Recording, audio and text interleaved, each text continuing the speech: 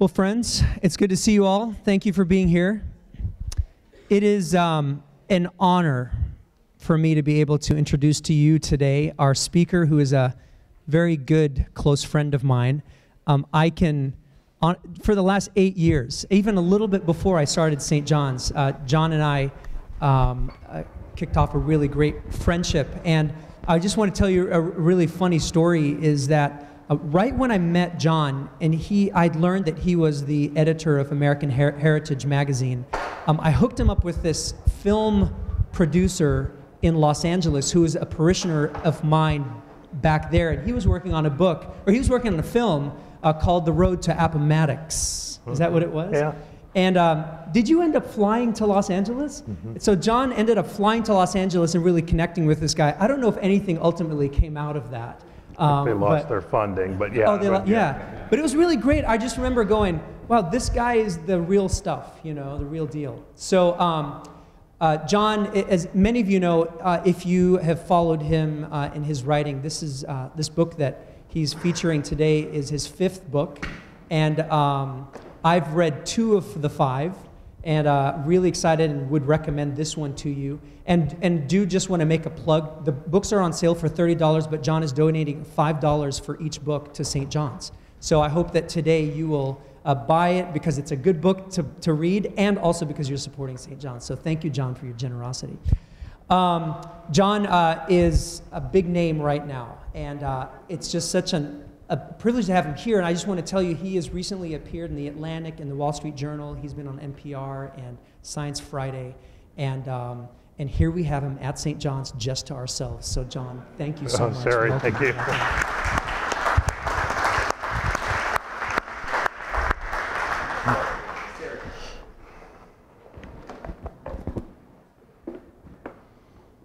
Well, thank you, Sari, and I'm just delighted to be here How's that sound? Can people hear me in the back? I'm just delighted to be here. Um, Carolyn Pierce got this thing, uh, uh, invited me, started this whole process of uh, me coming and talking about my latest book. And I'm just, a lot of you in the audience, you know who you are, have been so supportive of my writing over the years. I feel that this is my family. And uh, it really takes a village to write a book. So I'm just really grateful to, uh, to, to all of you.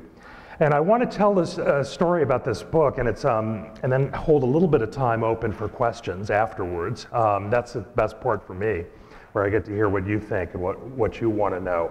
Uh, but this is a story of adventure, story of courage. So I want to take you back in time, and if you can imagine for a moment that it's May 1869, just after the Civil War. You're standing in southern Wyoming Territory, in the no account town of Green River, not far from the border with the Utah Territory. A naked butte overshadows a scattering of adobe buildings. The muddy Green River cuts through this dusty town. There's nothing green about it. A railroad trestle bridge crosses it. You are literally in the middle of nowhere on a spit of sand and gravel. Next slide. Thanks. Uh, on a spit of sand and gravel with a few willow trees a mile downstream of town, you can imagine, a large pile of supplies are piled up near four narrow rowboats. And moving around them are 10 men. Most wear their hair long and greasy. They have a don't give a damn swagger. Their eyes are bloodshot from two weeks of drinking the town's cheap local whiskey. It's known as 40 Rod. I learned because it's so powerful that after drinking it, you can't walk 200 yards without falling over. And if you listen to what the stories they told each other, they were tall tales of the West. These were Met Western men. They were boastful and full of panache and lies and color. But there's a lot of truth in these stories, too. They all bear scars from Indian arrows, two close encounters with grizzly bears. They've survived starvation, falls, near drownings, and mule kicks. So, what are they doing out on this crazy little spit of land with four rowboats? They're about to undergo one of the toughest expeditions in American history rowing the Green and Colorado River through some of the most inhospitable land in the world, including the Grand Canyon. So these men you would look at and say, what, why are they really perfect for this? They don't look perfect at all. Or maybe they are. Their leader, John Wesley Powell, also at first glance does not inspire, would not inspire much confidence. He's only five, six, five feet six inches tall, and the beard often hides a grimace that seems always on his face, makes his face seem severe.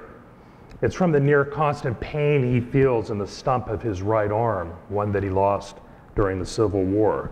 But if you walked up to this man, you would see an extraordinary flash in his gray eyes and his left hand would grip yours with iron force, force, you would realize that this man is as tough as nails. He had lost that arm at the Battle of Shiloh to a Confederate Minié ball at the infamous Hornet's Nest, one of the bloodiest and furious fightings of the entire war. After that terrible conflict, the nation got back to the business of business, and much of that focused on in, uh, developing the American West all of continental America by that time had been explored, but for one notable exception. A 100 by 300 mile piece of geography that lay within the Colorado uh, Plateau. This isn't a very good drawing, but it's right in the middle here. Then the Colorado Plateau is the second highest plateau in the world, second only to one in Tibet. This is the land we now know that holds Bryce Canyon and Zion Capitol Reef, and of course, the Grand Canyon. It's a tangled, difficult landscape transected by deep chasms that make exploration extremely difficult. So Powell, this one-armed man, decided to finish what Lewis and Clark had started 70 years ago when they took out across the continent. What Powell did not know was staggering. They had no idea of the course of the Colorado River. Did it meander all over the map? Or was it peppered with huge expedition ending falls? The latest intelligence from Native Americans in the area suggested that the river would disappear underground for miles at a time.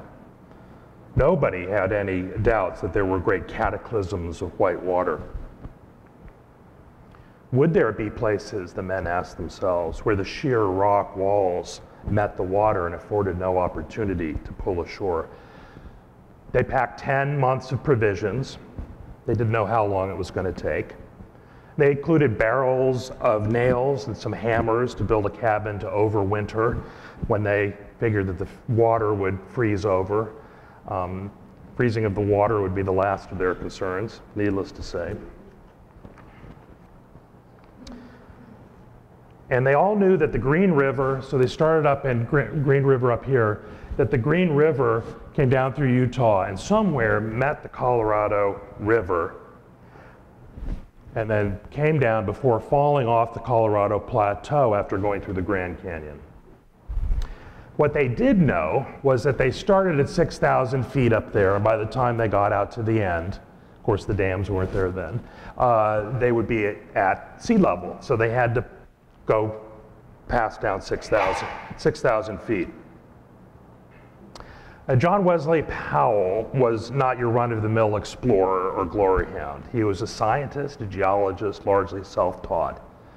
And he knew that the canyon represented one of the greatest scientific opportunities of his generation, perhaps one of the greatest in that century.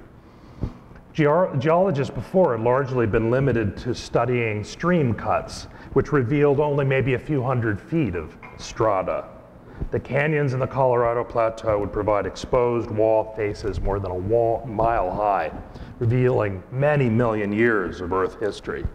And this was his real motivation for his, export, his expedition, and to take scientific measurements and draw an accurate map of the Colorado's course.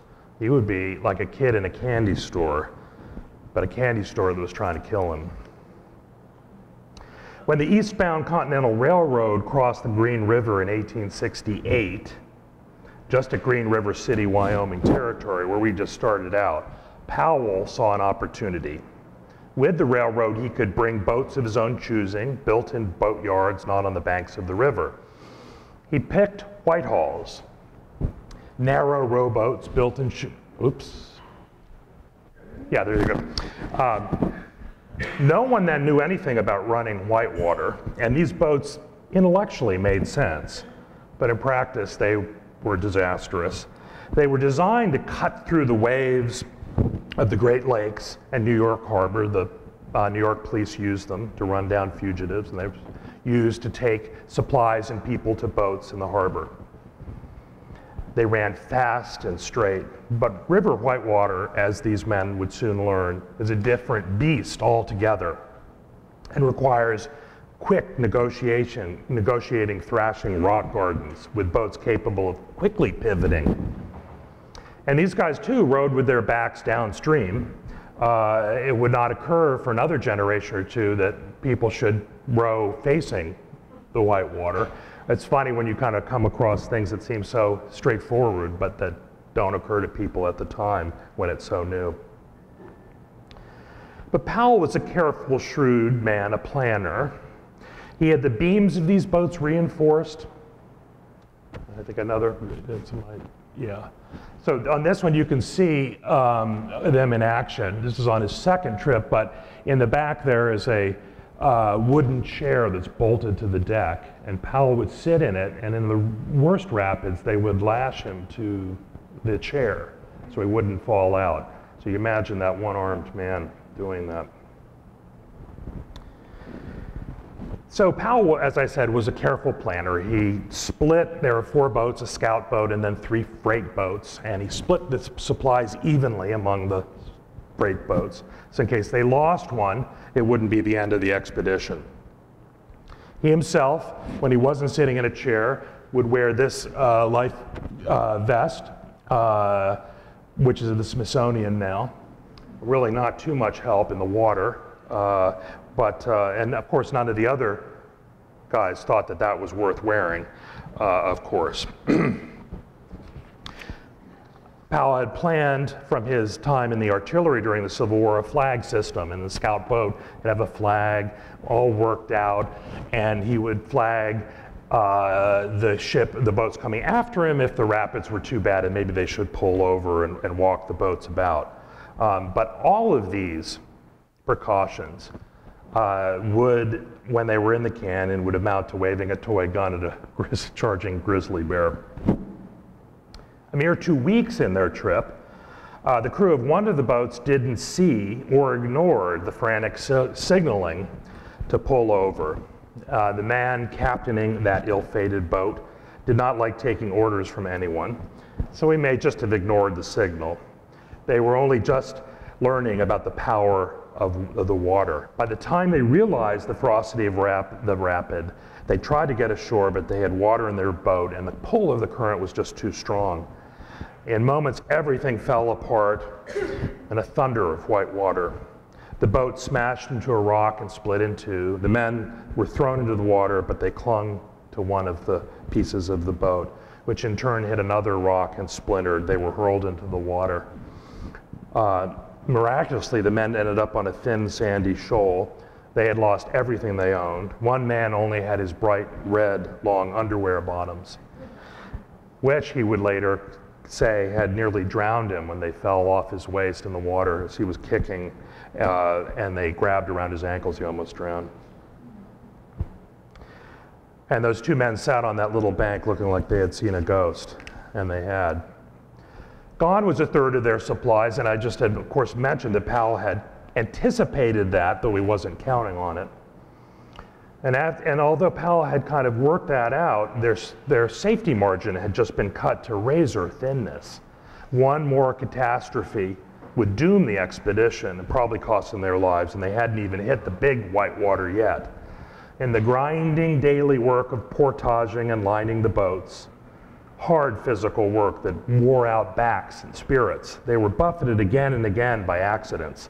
The cook tripped into the water one day and ruined their baking soda. So not a big deal, but their uh, bread was consequently unleavened. In another uh, incident, they settled at noon above a set of rapids that they wanted to scout on a thin beach nestled up against steep cliffs. The cook lit a fire to get the coffee going. A gust of wind picked up embers and lit an eternity's worth of dry brush and driftwood in the bushes that clung to the meager soil. It roared immediately into conflagration and caught them all flat footed. They jumped into their boats, some with their clothes and, and beards on fire, and they tumbled backwards and forwards, spinning and shouting through that rapid. When they all somehow managed to gather uh, below the falls. One man had a hole burned in, the, uh, burned in the seat of his pants, and another had his eyebrows and beard singed off. The men got to laughing, says one of the journals, for about an hour over this man's ghost-like appearance, and they couldn't stop. Kind of an indication of, you know, some of who they were. The next morning, they drank their coffee out of bailing cups because, of course, they had lost all their cookware in the fire fiasco. Uh, by this point, the boats had uh, begun to leak badly, requiring frequent sealing with pine tar that they scavenged. They fixed frequent holes in the hulls when they dropped their boats on a portage. Their bodies were in as bad shape as their boats. Everybody bore a list of aggravations wrenched backs, sunburn, cuts that would not heal, twisted ankles, stomachs churned, soured, upset by too much coffee nerves jangled.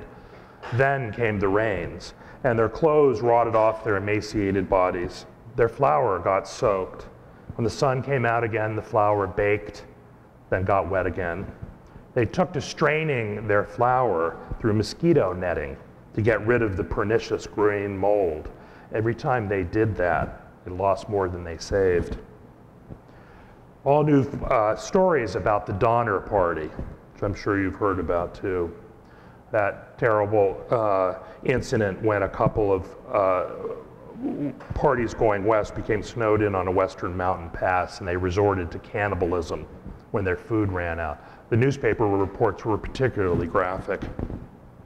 Must have crossed these men's minds as their food dwindled to half rations and then even less about who might go first and whether they could bring themselves to eat one of their mates.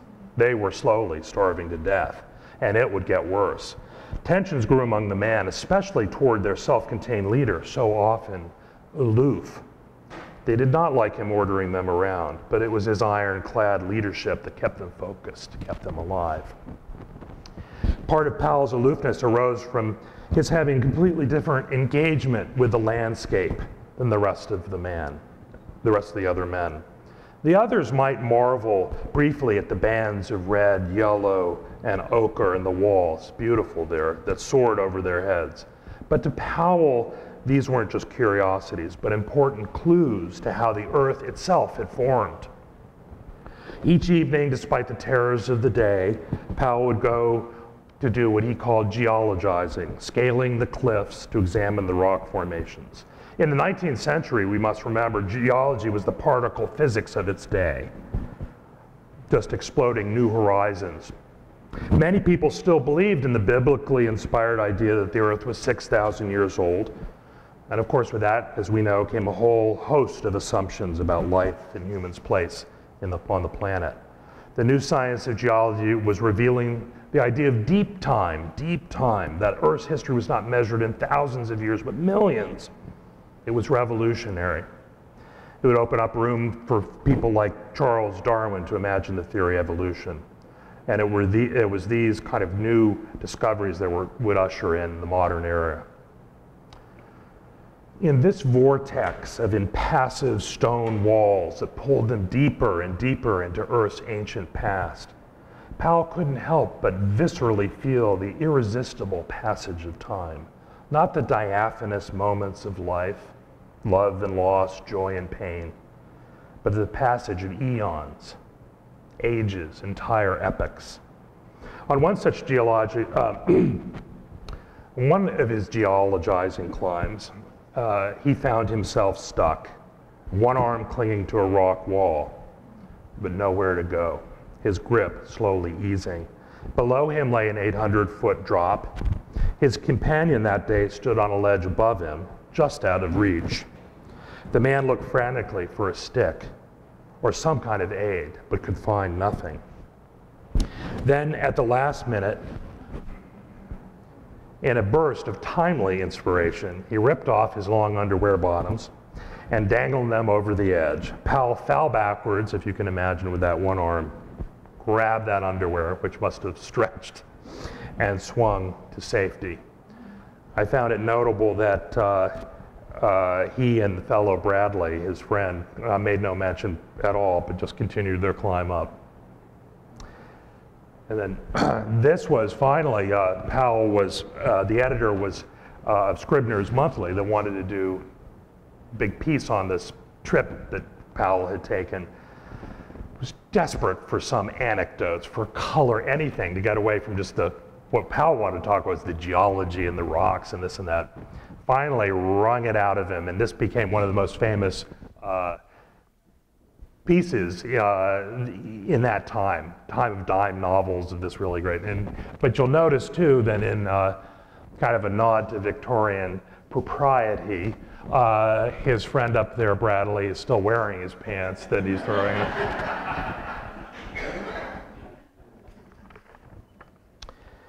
like few others before him, Powell came to understand how much the earth has changed. Its surface morphed, upheaved, buckled, weathered, and inundated by seas, eroded by rain. In our lives, the landscape around us remains static, seemingly imperturbable.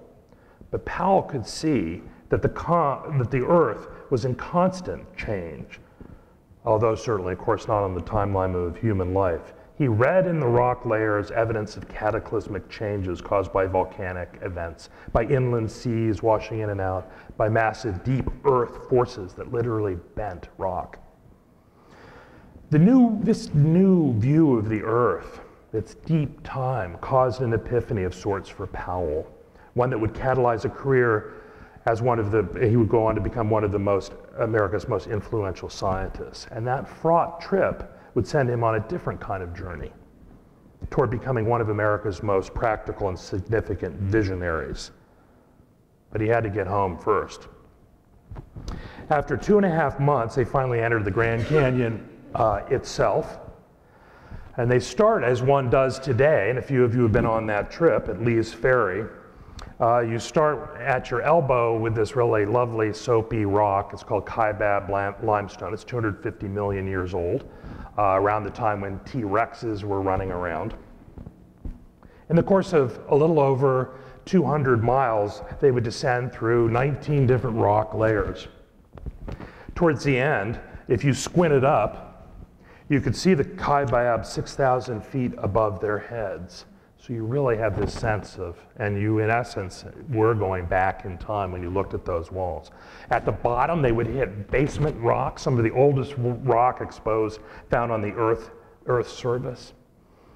Here is Precambrian, Precambrian Vishnu schist, great name, Vishnu schist.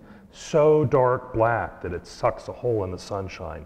Dark, dreamless, once laid down by sediments, then hardened by immense heat and pressure created almost 2 billion years ago, at a time before oxygen breathing organisms developed on Earth. Cut uh, through, uh, you can't really see it here too, too well, but the Vishnu schist are these veins of Zoroaster granite that's raspberry sherbet like rocks. I just love the color. I stuck a little piece in my pocket.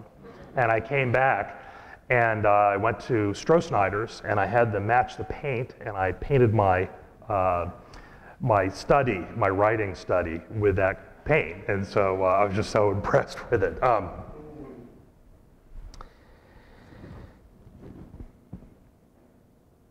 so um, that hard rock, the Vishnu schist, uh, also created murderous whitewater. They carried their boat around some of it they lowered with lines on other difficult sections, but a lot, a lot of times they had no uh, option just to barrel through.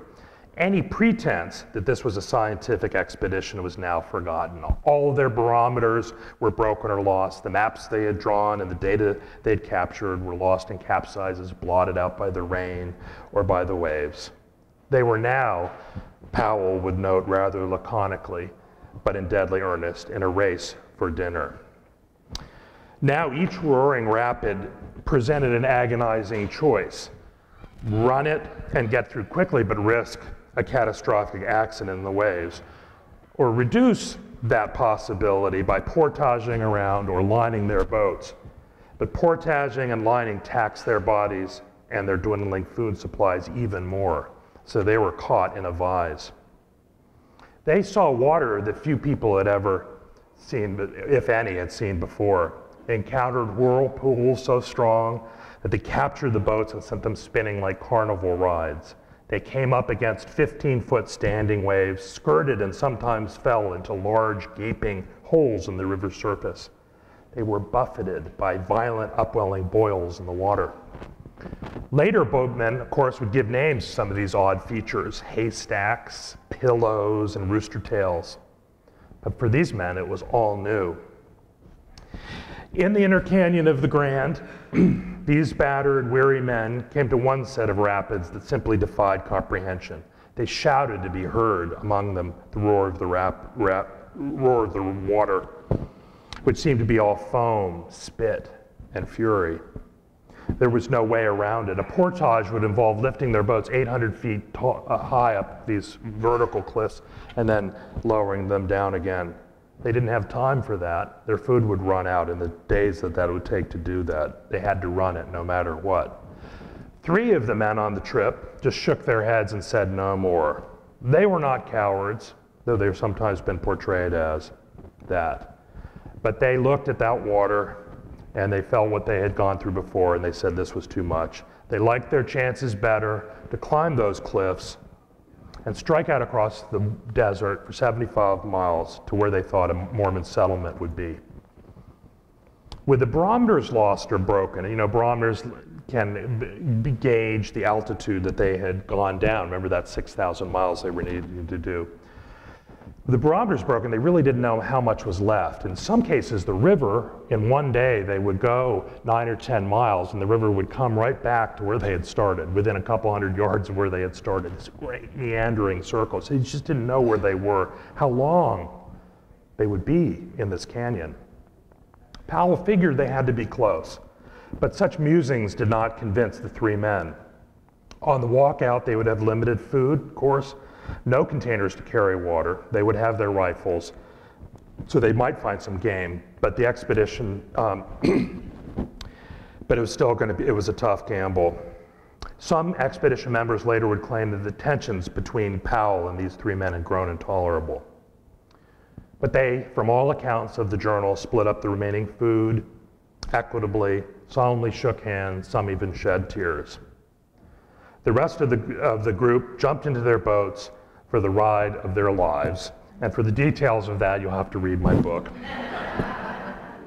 but all I can tell you is when the river, that the river spit out the remaining starving men just 20, a little over 24 hours later. The cliff walls receding, the waters turning languid, they were at sea level now and out of harm's way. Powell reached for an analogy to describe his feelings of relief, and the only one he could find was going back to the Civil War when he was in that tent.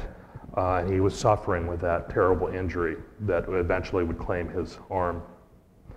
He wrote, quote, when he who's been chained by wounds to a hospital cot until his canvas tent seems like a dungeon cell, until the groans of those who lie about tortured with probe and knife are piled up, a weight of horror on his ears that he cannot throw off, cannot forget, until the stench of festering wounds and anesthetic drugs has filled the air with its loathsome burden. When at last he goes out into the open field, what a world he sees! How beautiful the sky, how bright the sunshine. These men had traveled some 1,000 miles in three months, not even close to the 10 months uh, they had anticipated. Uh, they came out with just a few handfuls of flour left. I mean, it was right down to the bare bones. They still had plenty of coffee, but that, I'm not sure that helped much. And as for those three men that walked out, they vanished without a trace. To this day, it remains one of the biggest mysteries uh, in the American West. The leading theory is that they had a violent encounter with Indians in the desert, probably confused about where these men came from, how they were surviving out in that terrible uh, desert uh, without any support. But there are also theories that perhaps the Mormons were involved, mistaking them for federal marshals attempting to arrest some Mormon fugitives. A Paiute chief would later tell uh, Powell that and, and, and admit to the murders. But still, there remains to this day no conclusive evidence about what happened, certainly nothing that I could find. And of course, the great irony of it all was that had those three men just stayed on the river for just a few more hours, they would have made it out alive. And it tormented the others for the rest of their lives. Afterwards, Powell became an instant hero. But I really uh, believe that um, he really felt like a failure ultimately. Certainly, he had they'd come out uh, with their lives, but everything else had been lost. It, be, it had become just a, uh, a crazy adventure. So he set back out on the river to do it again in 1871 and 1872. This journey is much less exciting, though there were certainly a lot of close calls. Uh, and they had to end it a little early because the water started rising. But they finished up the valuable surveying work so they could make a map. And from this map, he would survey the Colorado Plateau and become the, eventually the leading force behind the establishment of the U.S. Geological Survey and help to make federal science a permanent part of the Washington landscape. He would uh, devise the discipline of geomorphology, the study of the formation of the Earth's surface. He would institute the first massive federal science project, the mapping of the entire United States. Very ambitious uh, project that wouldn't be uh, finished until the end of last century. He would put together the first large-scale systematic study of native peoples ever done and go on to found the Bureau of Ethnology at the Smithsonian, learned to speak Ute, and he had a very empathetic understanding of American Indians. Was in a lot involved in a lot of treaties and a lot of uh, it, it just a just a fascinating kind of aspect to him. His tireless work in introducing America to the Grand Canyon would change perceptions about this remote, difficult feature from an awful place to be avoided into one of America's most iconic natural fe features and a symbol of nation's exceptional nature. But, but perhaps most importantly, and why I give you all the details of that terrible trip in 1869, the, the experience for Powell deep within the earth to reveal and see what the earth was all about, the change it was, and to understand how fleeting a human being's presence was in that big picture. Um, as America would look towards exploiting the West's resources, Powell became a forceful voice advocating careful, sustainable development of the land and water. Americans, he argued, needed to listen not just to their, to their ideals and ambitions, but to what the land told them, what was sustainable and long term. Otherwise, the future would consist of shortages, endless litigation, feuds over infrastructures and water, each one a threat to a democratic society. And these are the things we're seeing today. Few listened to his warnings then to Western senators, railroad barons, and millions of immigrants looking for a better life. The arid West beckoned like an Eden. And you can't blame them. Few could escape the pull of manifest destiny, the idea that America's future lay in the divinely conferred right of Americans to push across the country and take what it wanted. But environmental catastrophe lay ahead in the wake of, of this headlong and heedless development. By the 1930s, Powell had been long dead by that point, the Dust Bowl saw much of the West's topsoil blow away. A great 10,000 foot cloud came to Washington, D.C., 1,000 miles from the West, begrimed federal office buildings in the spring of 1934 and 1935. Powell had been right. As we consider today the ravages of global warming, I just want to end with Powell's admonitions to become ecological stewards make urgent sense. Even more than he anticipated, even more than he anticipated is on the line now. Not just our democracy, but life on Earth. Thank you.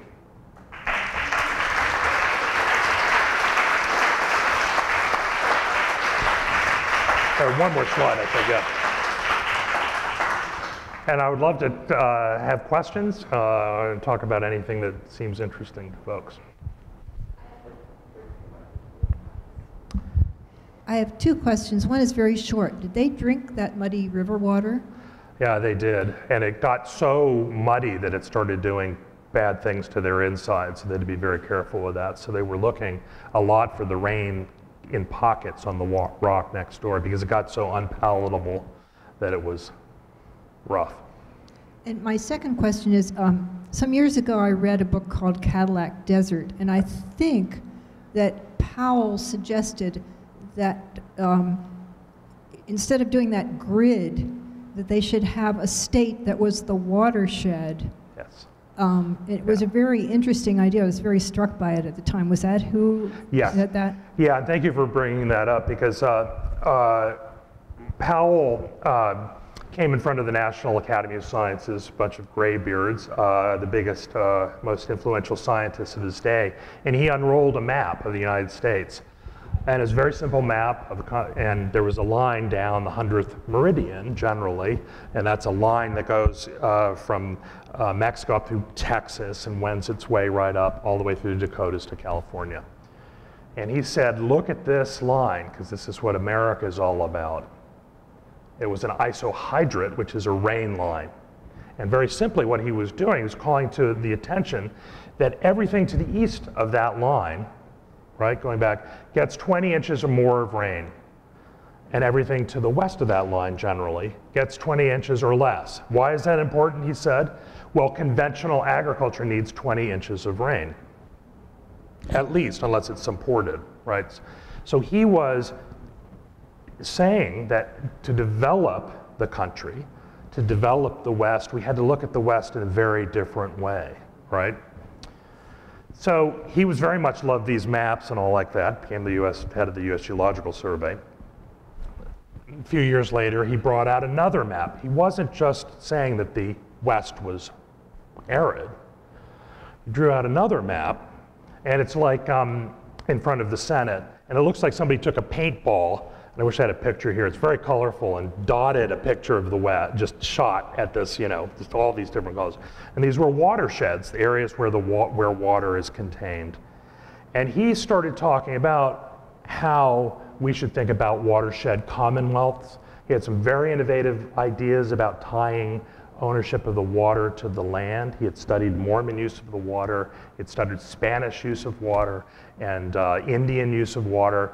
Uh, he was thinking in ways that uh, really were foreshadowing the tragedy of the commons, which is what happens when a when a lot of multiple interests are interested in a resource that is common to all, and terrible things, as we know, can happen. Fishing, you know, fish can get just uh, decimated in the ocean. Uh, um, and this, he believed, might be true with water as well. So he started talking about issues about how to keep water issues local. He wasn't averse to dams, but I think he would have been horrified to think about the dams that we have today, 800 feet tall and changing things. The Colorado River today um, sits between two dams and is really a canal with controlled water. The warm, muddy water that he ran down now is cold because it's let through the, at uh, the lake, uh, the, the lower parts of the lake, so the water is cold.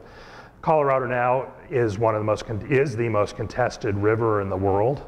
Uh, every uh, drop of it is claimed by one uh, group or another. By the time it gets to Mexico, it crosses the whenever it crosses the border where it used to flow into Mexico and off to the ocean, dries up. It's just desert. And uh, so what Powell was really talking about was really thinking about, okay, it's not just that it's dry, but how can we limit water monopolies? The whole idea of us today sending water three or 400 miles over mountains through canals to get to other places would not, uh, would have just have horrified him. He also understood that the aquifers underneath, the great fossil water uh, bodies underneath, uh, like the Ogallala um, aquifer were built up over millions and millions of years. And now we get deep, deep drilling, and it's going down and down and down and down and down. Um, and very, very uh, limited replenishment of that. I mean, some with, uh, but not certainly enough to replace that. So he would have looked at some of the rapid urban development of the West today, where a lot of urban development is, is going on, um, and say, well, are you thinking about your water, where you're going to get it? And a lot of these questions are still not being asked. So really, he was not what would one call an environmentalist in terms of, you know, like John Muir or the way we understand environmentalists today. He was a man of his time. He believed that the resources of the earth were there for Americans to realize their great glory. So he believed in that. But he did also realize fundamentally that changing, that, that pushing too hard on the earth, expecting what it can't deliver, this is a kind of a critical and revolutionary understanding of sustainability. He was really one of the first to get out and really talk about. And it was he would get shot down terribly. The, uh, his, uh, his, he would be impugned, and uh, newspapers would uh, write scathing things about him. Senators were uh, putting up rumors of his uh, sexual peccadillos, which, from what I could find, were non-existent. And it was a really, a, had, there was quite a really rabid response people felt he was standing in the way of American progress. And Powell was there, the strident voice. Um, this is the second part of his courage, you know, um, saying, no, I'm not in the way of progress. The way toward progress, the way toward progress is to talk about these issues and to think about it and to work it out, not just go heedlessly on, not just to have this kind of credible optimism that everything is going to work out, that technology is going to fix everything um, but to say, no, let's think about this. And he got steamrolled, as many visionaries do. It seems that they're, you know, they come out swimming up against the, the uh, current and they get bowled over, but their words and their concepts live. And, uh, and in, certainly in Powell's case, so many of them came, came true. Long answer to a short. Nancy?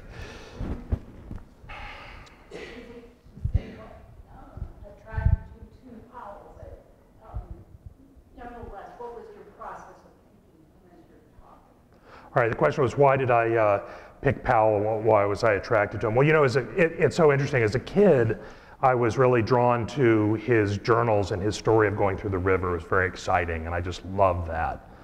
And then, uh, as I worked as an editor at Smithsonian uh, Magazine, I came across his studies of American Indians.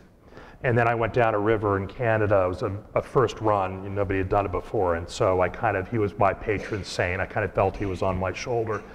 And as I got to thinking about this guy, I couldn't um, really uh, put together this kind of grizzled explorer with this visionary. And I wanted to kind of see, and it really became a puzzle. So I wanted to push beyond the waves and the starvation. It's an incredible story. It's, it's one of, it's Homeric. But it often gets in the way of really looking at this man and really what this, what, what he was all about. And so I saw this incredible exam, you know, example of courage in very different manifestations. And so I, I really felt impelled to try to integrate all of that. And then, of course, it just led me to really think a lot about and to write uh, about recently, you know, about that the climate changes, the discussion of cl the climate wars that we're going through right now, they've been going on for a while right? They weren't talking about global, global climate change then, they didn't know that, but they were, Powell was beginning to talk about let's look at the, the land in terms of climate and let's, let's act accordingly. And got shot down pretty badly for that, but he had raised the idea of that. And I think it's a really, really uh, important um, you know, to understand our American history in the con, you know, going uh, of the global climate change discussions now. Why are people so vehemently against stuff when there is so much strong scientific evidence? Um, and uh, I could say that the same things about American identity and progress are also, are also at play today as they were back then and this idea of people getting in the way. And it, and it tags into a very long conversation about American sense of optimism, of destiny, that manifest destiny. That's all still here today. And unfortunately, it wasn't until the Dust Bowl came and pretty much slapped everybody across the face with the rampant uh, plowing and, and such things that disrupted the topsoil so badly and led to the ruin of so many lives uh, that people really woke up to the fact of this. And then Powell really seen then as very prescient. So my only concern today is that we don't have to repeat that and have to wait until something really awful happens. Because in the case of global climate change, we're walking very close to the edge and we might not be able to come back from it. Dan? Um, thanks, John. Great talk. Um, I'm wondering, did you find it, is that working? Did you find any, um, is there an academic connection or a social connection between Powell and Frederick Jackson Turner at all? I'm curious if they ever crossed paths, if, if there was a relationship between Yeah. what Powell found and, and Turner's thesis, which I'm guessing is maybe 15 years or so later, or 20 years after the expedition. Is there any connection you know of? That's a good question, Dan. You know, that's a.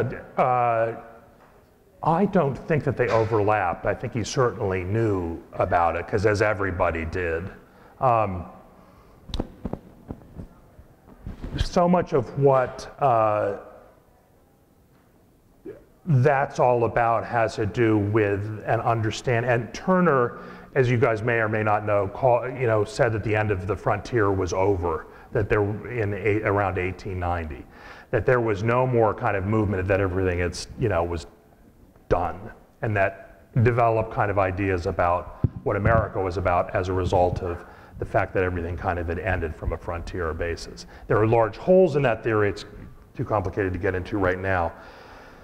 But this all has to do with wrestling, and Powell was a big part of this, with how we understand the American West, because they're, they're almost like we have two different countries, you know? Um, the American West is so different climatologically, everything, geologic, geologically, geographically from the East. And the early, early days, um, for the most part of our, uh, before the Civil War, uh, people considered the American West the great American desert. They really felt, and there was a thing, and this really shaped how we thought about who we were as Americans, that basically that, the, um, that it was just this fraught desert, terrible Sahara-like desert, and that the America ended at the Rocky Mountains. And you have to remember then, too, that the British and the Russians and, uh, and the Spanish were uh, on the coast. And we had some, you know, Americans had some presence there. But generally, that America kind of ended there, right? And that the mountains were this great barrier. And it wasn't until the Civil War came around right after it that this got, the, the idea of the great American desert got flipped on its head. And suddenly people um, were talking about how this was a great Eden. It was this incredible change that there was, and this was pushed by the boosters of the railroads. They came up with these ideas about how it was the Italy of America, the Switzerland of America out there, and all you had to do was go out there. You know, it wasn't like that at all. It was this incredible shift. And what Powell was saying was saying, well, no, it's not. Um, it's not an Eden out there. It's not unproductive, but the quarter section, the way we had developed the country before, was in the, in the Midwest, if you were a pioneer, you got 160 acres, uh, quarter section they called it. And if you lived on it for five years, you could make it productive, then it was yours. This great American dream kind of stuff. When we went out to the West, Powell said, that's not going to work.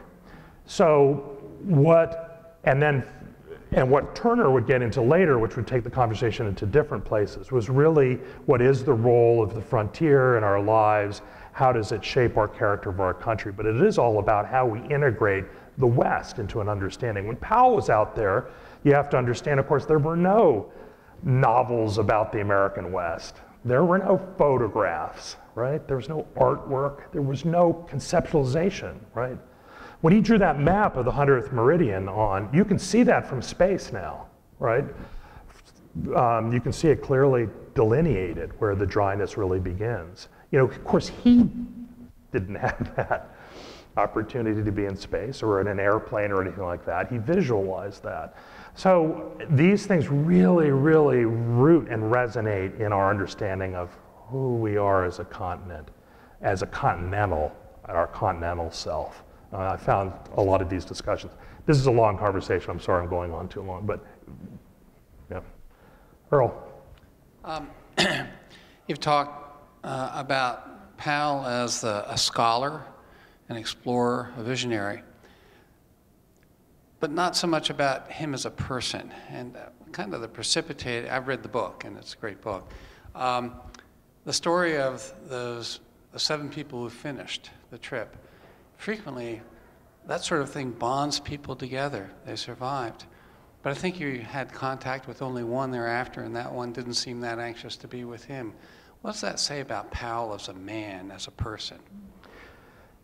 Very good question, Earl. And there's a lot of controversy. And you go down the river, you talk to the guides, and they're full of all kinds of ideas about, you know, Powell, was he an autocrat or was he just doing his job or what? And, and that's another very interesting conversation. He was a uh, used to military discipline, so he was a, he was a tough, he was a tough guy. Um, at times not empathetic, but he always kept his eye on the prize, which was getting through. And I came out after looking at him as a real, uh, uh, I've been on, I've been on, I think we tend to forget sometimes. I've been on rivers, and this was in a day of satellites and stuff, so if we were in trouble up in the Arctic, maybe we'd get rescued in two weeks or three weeks or something, you know, by the time it all worked out. These guys had no hope of really being rescued in any time. I think we forget how uncertainty just can really, really poke holes in a group of men. And I think a lot of that happened, and they got beaten up pretty badly. Um, there wasn't really much room in that for nice guy sensibility. It's a whole different dynamic. Um, even to the second river when things happened. The second time around, he picked people he knew better, uh, picked some scientists, and all like this. I thought his decision was really easy to pick a bunch, a real motley crew of difficult, difficult people, you know, real independent Westerners. And I think that, that the flip side of that, the fact was that get them through it because they had that ability to laugh when in the face of, you know, terrible privation. But it also opened up possibilities for, you know, you know, hostile interactions as, as some of them did and, and, and all that. I did want to break out personally. You know, one thing I was so interested in is in his um, uh, Powell as a young man. He had this formative experience. I still can't get it out of my mind. His father was a Methodist preacher, um, and he and his wife had come over uh, from England. And they started up in New York in the burned over district where so many amazing things were going on uh, with new religions being founded. But he, he said, oh, too many preachers up here. He moved south to Ohio right near the border with the Ohio River, and Kentucky, which, as we know, right then was the bright line. You know, the, Kentucky was a slave state and Ohio was a free state. And they moved to this little town of Jackson. And uh, I uncovered that there was a very large African that nobody had ever figured out before because it doesn't exist anymore. But I found it that there was a large African American population right there, and it was a center for the Underground Railroad in the 1830s, which was just beginning to get going. At this time, uh, Powell's father became an abolitionist, and those were, eh, back then, that was a bad word. People, um, uh, Emerson called them a bunch of kind of lunatics, crazy, dangerous lunatics, uh, because what they were talking about was not just abo- abolishing slavery, but they were talking about this very worrisome thing to many white people about the equality of men, uh, of blacks and whites the fact that maybe a black man could marry a white woman. This was very threatening. So Powell, as a 10 year old boy, was in school, and one day and after school, and he got stoned by his contemporaries over his father's open abolitionism. And it bruised him, uh, you know, I think more, you know, spiritually, mentally than, uh, you know, though I think he was hit. Um, so he moved away. He was pulled out of school, of course, and uh, set under the tutelage of a very interesting character in the book, 400 pound man, kind of known as the Samuel Johnson of the backwoods, this great geologist and really interesting guy who totally got John Wesley Powell interested in, um, in natural history and all like that. But this opened this, this incredible thing, and with his father, watching some of the abolitionists of the day come through, seeing um, uh, uh, African American folks on the Underground Railroad get killed. Um, he saw their bodies, I believe, um, for, for being in the trade of getting uh, escaped slaves out of there. Really, really put him into a, uh, put him as an outsider so he could look in, but it also seemed to kind of give him a certain empathy for the way people other than him worked. So when he was working with Indians, and Indians then, for people out west, they were dangerous, they were dirty, they were different. And the whole idea of a better dead, better dead than alive Indian was very much what all the men on his trip believed. But not for Powell. You really wanted to learn from them. He, he really spent some time with the Mormons, and the Mormons, of course, were greatly reviled, um, not understood. They had these crazy polygamous theories and you know all this stuff. But Powell was in there talking to Brigham Young and all this and learning from them. Uh, during the Civil War, he, he was a colonel in a, uh, in a colored regiment. And, uh, and I think a lot of that ability to stand apart and to look would, that would later lead to some of his visionary stuff, you know, came from those seminal relationships in, uh, in Ohio. The family finally had to leave because a mob came up to their house and uh, threw paint on their house and cut the tail off their horse, and violence was moving closer and closer and closer. So his father picked up his young family and went out of town. And Powell never looked back and never made mention of it again, but I think it was deeply, deeply. Um, John, anyway. thank you. Um, we have 15 minutes before the 11:15 service. John's going to sign some books. Is that right? Um, Teresa, our accounting manager. If you haven't met her, this is this is her. She'll be over here selling the books. John will be signing them, and uh, let's just thank John for his gift tonight.